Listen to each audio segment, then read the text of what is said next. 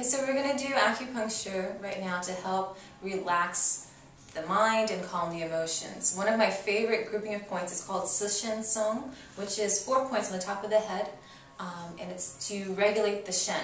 The Shen in Chinese means the spirit. It also means uh, refers to mental functioning and emotional functioning. So this, these points are wonderful for uh, improving memory. Um, so if you're studying, also for concentration, really great for any kind of emotional issues like depression, um, insomnia, um, being too excited, any of those things, ADD.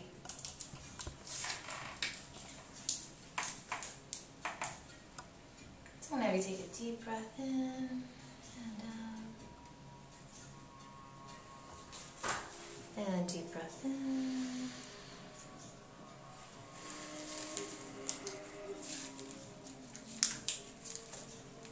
These points also are good for spiritual functioning as well. They help to realign the spirit.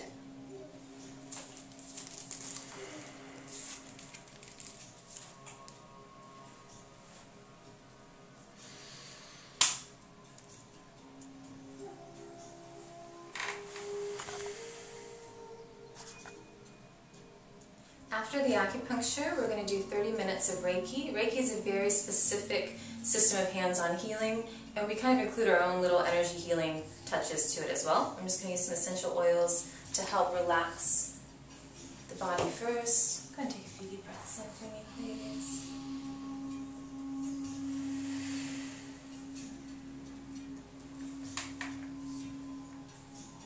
So what you'll feel is a deep sense of relaxation um, there's going to be heat coming from my hands, and sometimes people will see colors, they'll have different sensations in their body, and it really takes you into this really deep, beautiful place. It's wonderful for physical healing, for emotional healing. Each hand position is held for about five minutes.